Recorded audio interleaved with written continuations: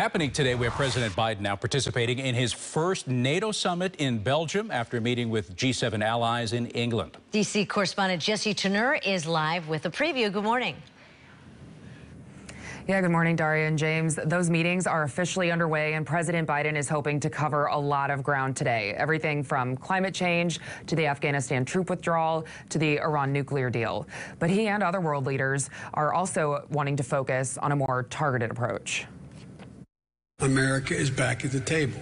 That's the message President Joe Biden will take from the G7 to NATO after former President Donald Trump dismissed the 30 country alliance as obsolete. NATO is vital to our ability to maintain American security. Uh, um, for the next uh, uh, next uh, remainder of the century. At today's summit, President Biden plans to ask European allies for more help against economic and national security threats from China and Russia.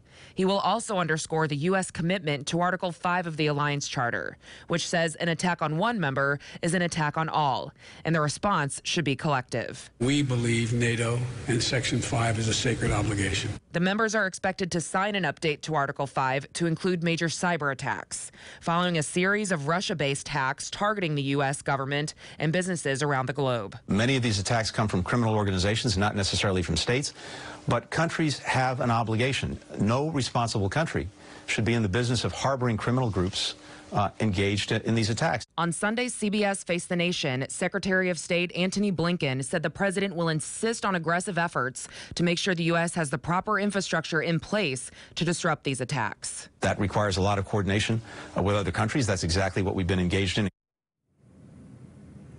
And President Biden also continues to prepare for his major one on one meeting with Russian President Vladimir Putin on Wednesday, where he does plan to bring up those cyber attacks. And this is the first in person meeting that the two leaders have had in 10 years, when Biden was vice president and Putin was prime minister. Live in Washington, I'm Jessi Turnure. Interesting. Thank you, Jessi. It's 521. And coming up, a local dog owner